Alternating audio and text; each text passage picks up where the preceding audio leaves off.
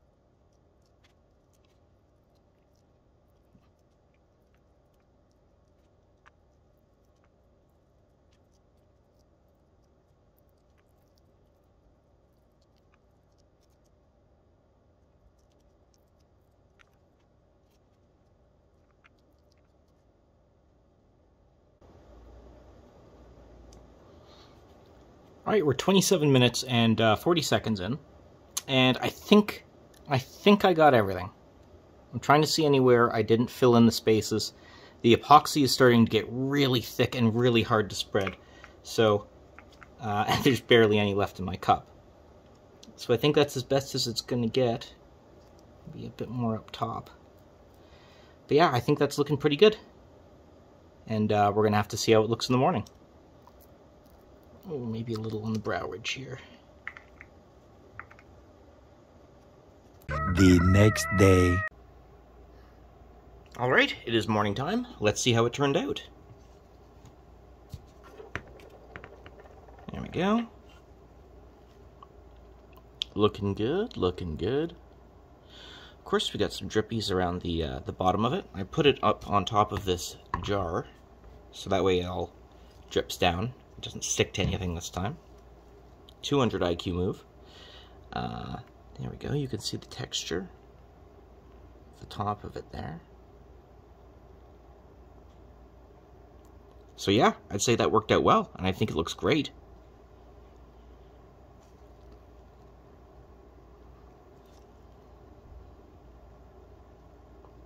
As you can see before, where the beads came off,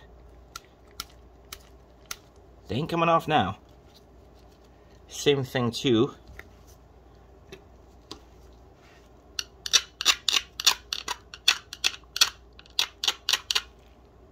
Nothing.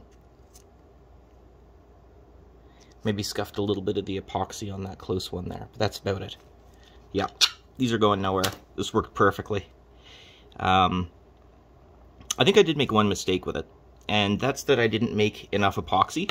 By the time I was running out, it started to get really thick, really goopy, and uh, I don't think that was for the best. What I should have done is made about maybe a third or 50% more, and just slopped it all on as quickly as possible, because that way it would have been uh, the absolute runniest it can be, and would have gotten between the beads, and then I could have just painted it out over the rest.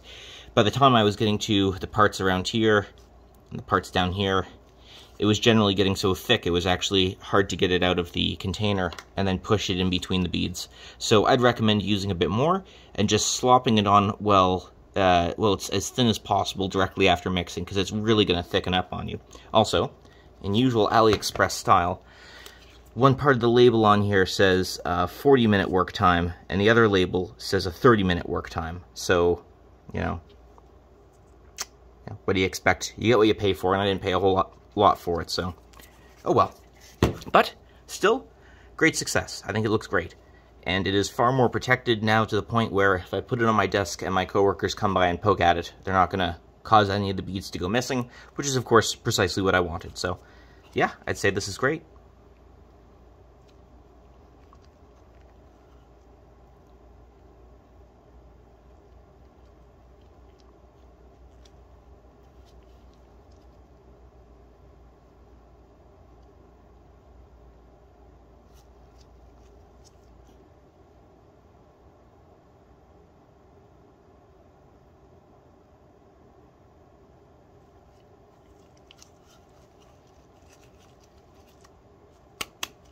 All right, that's all for now. Like, share, subscribe, and until next time. Now let's all agree to never be creative again.